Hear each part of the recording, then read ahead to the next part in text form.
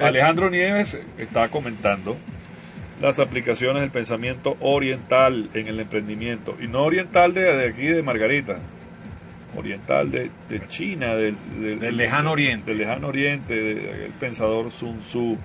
Adelante. Eh, justamente estábamos eh, comentando que el pensamiento estratégico es planificación estratégica.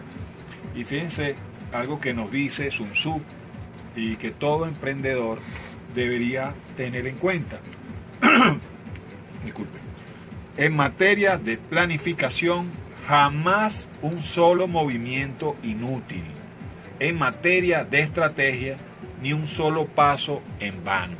¿Qué quiere decir esto? Plan de negocios.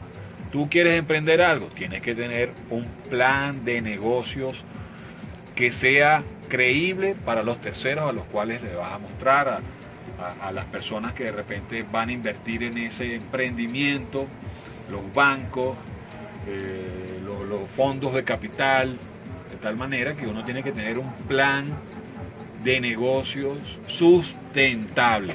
Pero también hay que ser flexible, porque fíjese también lo que nos dice Sun Tzu.